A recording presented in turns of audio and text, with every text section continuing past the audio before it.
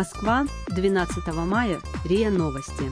Союз защиты природы и Германии, Naturschützbund Deutschland, НАБУ, добивается срочного решения суда, чтобы предотвратить строительство Северного потока-2 в Грайфсвальдском заливе, сообщает немецкий телеканал НДР. В начале марта Высший административный суд в Грайфсвальде, федеральная земля Мекленбург, Переднее Померание, принял жалобу НАБУ на решение горного ведомства города Штральзун, которое одобрило строительство и эксплуатацию газопровода в территориальных водах Германии. В НАБУ опасаются, что суд может вынести решение по делу уже после начала строительных работ, запланированного на 15 мая.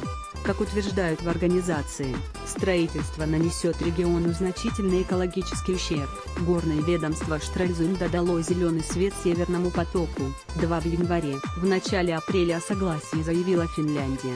«Газпром» рассчитывает получить оставшееся разрешение от Швеции, России Дании первом полугодии. Проект «Северный поток» 2 предполагает строительство двух ниток газопровода общей мощностью 55 миллиардов кубометров газа в год рядом с Северным потоком, от побережья России через Балтийское море до Германии. Против проекта выступают некоторые страны, в том числе и Украина, опасающиеся потерять доходы от транзита российского газа, и США, у которых есть амбициозные планы по экспорту своего СПГ в Европу.